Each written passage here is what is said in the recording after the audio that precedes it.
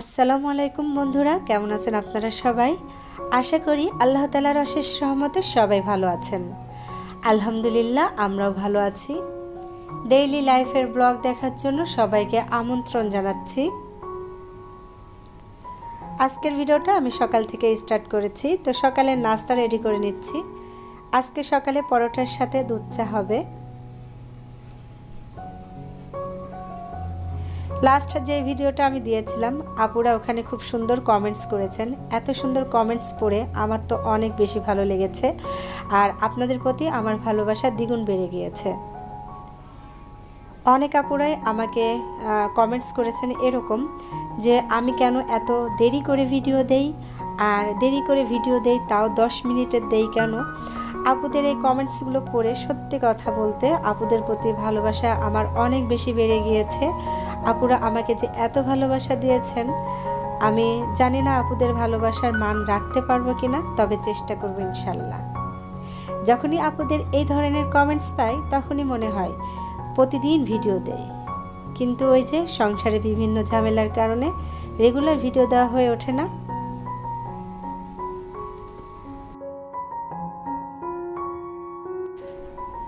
আমি খুবই সাধারণ একটি মেয়ে আর আমার লাইফ স্টাইল খুবই সহজ সরল। এই সহজ সরল জীবনযাপনের মধ্যেই আমি সুখ খুঁজে নিয়েছি।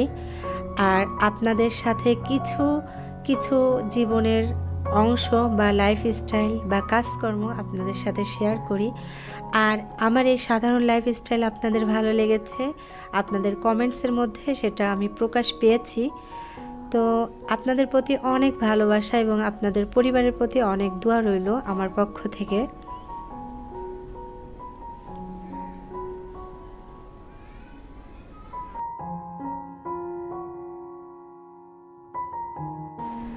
আমার প্রিয় আপুদের সাথে কথা বলতে বলতে আমি নাস্তা রেডি করেছি, এরপরে বাচ্চাদেরকে খেতে দিয়েছি, আমি নিজেও খেয়ে নিয়েছি। আর এখন নাস্তা করার পরে যে প্লেট বাটিগুলো হয়েছিল, সেগুলো ধুয়ে নিব।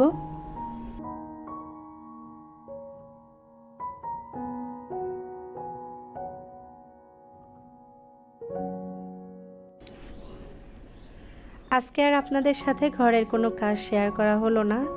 এজন্য আমি সরি চেয়ে নিচ্ছি, কারণ আজকে আমি শ্যুট করার সময় পাইনি।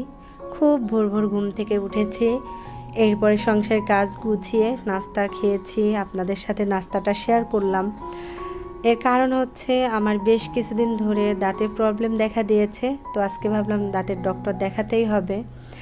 আর ডক্টর দেখানো মানে অনেক সময়ের ব্যাপার বা সময়ের কাজ। তো ভাবলাম সকাল সকাল ঘরের কাজগুলো গুছিয়ে তারপরে আমি ডক্টরের কাছে যাব।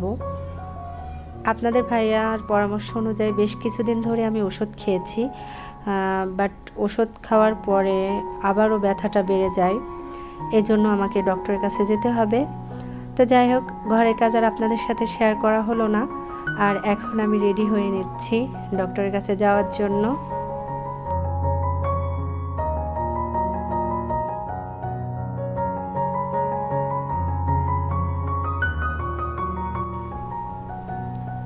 ডক্টর দেখানোর উদ্দেশ্যে বাসা থেকে আমি বের হয়ে একটা রিক্সা নিয়ে নিয়েছি।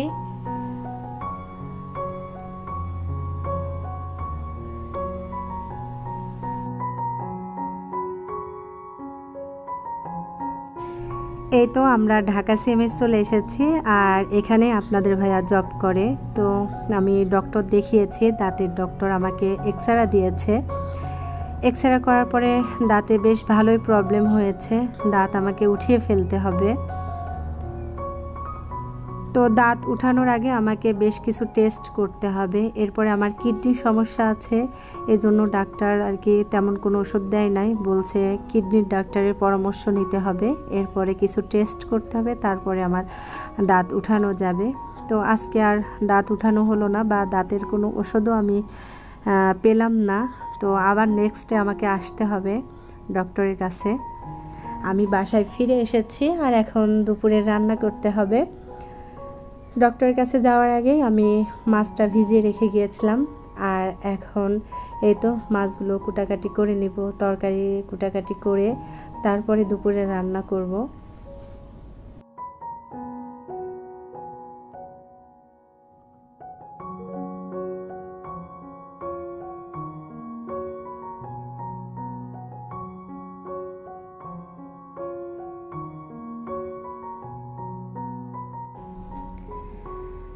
মাছগুলো সুন্দর করে ধুয়ে আমি নিয়ে এসেছি আর এখন একটু লবণ দিয়ে আধা ঘণ্টা মতো রেখে দিব।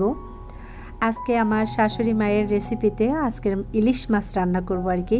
আমার হাজব্যান্ডকে সারপ্রাইজ দিব কারণ প্রত্যেকটা সন্তানই তার মায়ের হাতের রান্না অনেক বেশি পছন্দ করে, তাই না?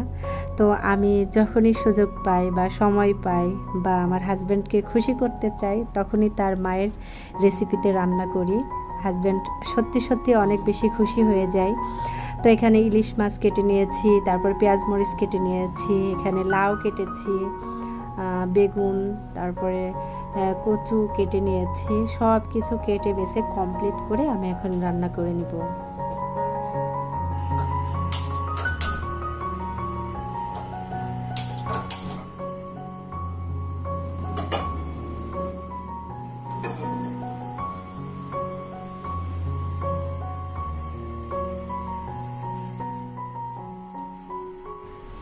আজকে দুপুরে দুটা তরকারি আমি রান্না করব, তো এর জন্য দুটা কড়াই আমি চুলাতে বসিয়ে দিয়েছি আর দুটা রান্না আমি একসাথেই রান্না করে নিচ্ছি। আর সকালবেলায় যাওয়ার আগে আমি ভাতটা রান্না করে নিয়েছিলাম। তো এখানে আমি কড়ার মধ্যে তেল দিয়ে দিয়েছি আর দিয়ে দিচ্ছি বেশ কিছুটা পরিমাণ পেঁয়াজ কুচি। পেঁয়াজ কুচিটা একটু সফট হয়ে আসলে আমি এর মধ্যে দিয়ে দিব জিরা এবং পেঁয়াজ পেস্ট। আমি এর মধ্যে অন্য কোনো মশলা ব্যবহার করব না, যেমন আদা এবং রসুন পেস্ট। কারণ আমার শাশুড়ি মা এভাবেই রান্না করতো, ইলিশ মাছে কোনো রকমের আদা এবং রসুন পেস্ট দিত না। তো এখানে আমি হলুদের গুঁড়ো এবং মরিচের গুঁড়ো দিয়ে দিলাম, দিয়ে আরও একটু ভালোভাবে কষিয়ে নিচ্ছি।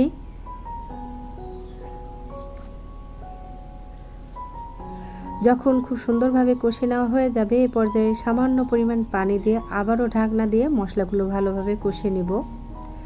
আমি দুইটা তরকারি সেমভাবে রান্না করব। একটা হচ্ছে লাউ দিয়ে আমি ইলিশ মাছের মাথা লেজ রান্না করব আর যে সলিড পিসগুলো আছে সেগুলো কচুমুখী এবং বেগুন দিয়ে রান্না করব। তো এই তো মশলাগুলো কষে নেওয়া হয়ে গিয়েছে আর এখন আমি লাউ দিয়ে দিয়েছি আর উপর থেকে কিছুটা আমি দিয়ে দিয়েছি কাঁচামরিচ কুচি। তো এদিকে আমি এই কড়ার মধ্যে দিয়ে দিলাম কচু। কচুটাকে দিয়ে ভালোভাবে নেড়ে চেড়ে একটু পানি দিয়ে কষিয়ে নিতে হবে।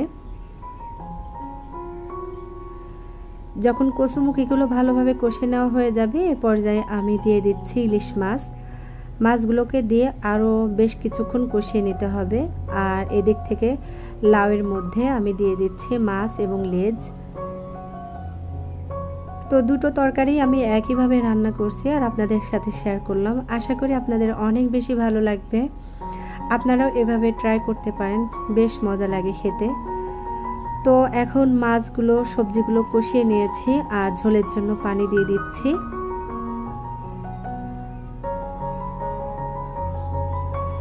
যখন ঝোলের পানিটা একটু ফুটতে শুরু করবে, এ পর্যায়ে আমি বেগুন দিয়ে দিব।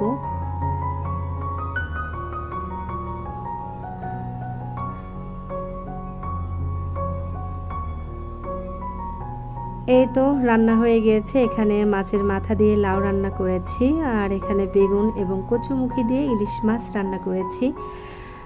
দুটা তরকারি অনেক মজা হয়েছিল, আলহামদুলিল্লাহ। তো রান্না বান্না শেষ, আমি এখন শাওয়ার নিতে চলে যাব আর এরপরে দুপুরের খাবার খেয়ে নিব।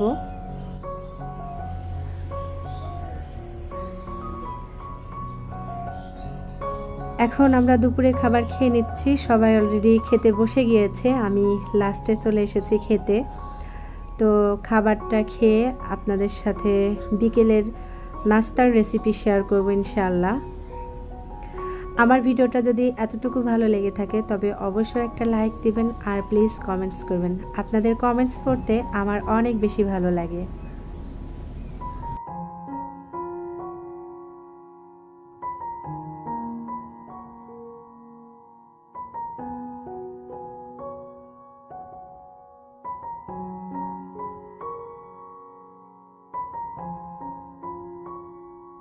সন্ধ্যার নাস্তার জন্য সন্ধ্যার আগেই আমি রান্নাঘরে চলে এসেছি আর ফ্রান্স ফ্রাইয়ের জন্য আলু কেটে নিয়েছি।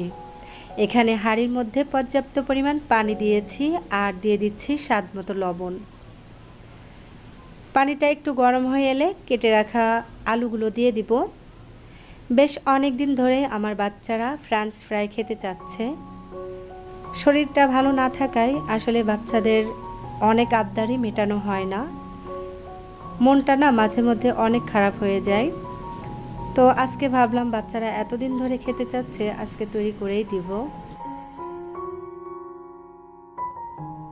পঞ্চাশ পার্সেন্ট মতো আলুগুলো যখন সিদ্ধ হয়ে যাবে, আমি ঝুড়ির মধ্যে নামিয়ে নিচ্ছি।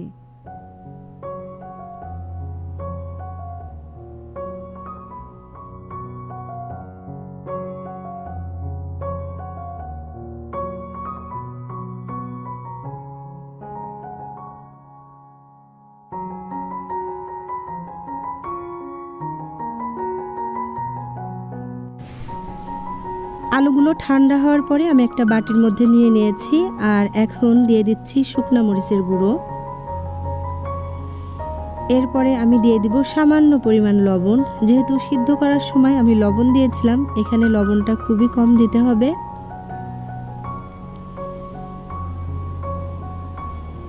এরপরে আমি কর্নফ্লাওয়ার দিয়ে দিচ্ছি।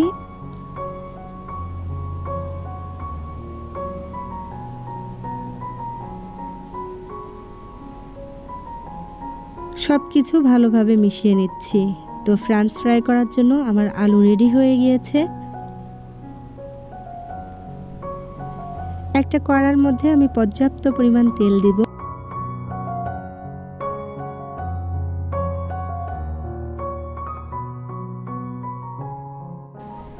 তেলটা একটু গরম হয়ে এলে আমি এখানে আলুগুলো দিয়ে দিচ্ছি আর চুলার ফ্লেমটা আরও একটু লো করে দিচ্ছি। বেশ সময় নিয়ে ফ্রান্স ফ্রাইগুলো ভেজে নিতে হবে।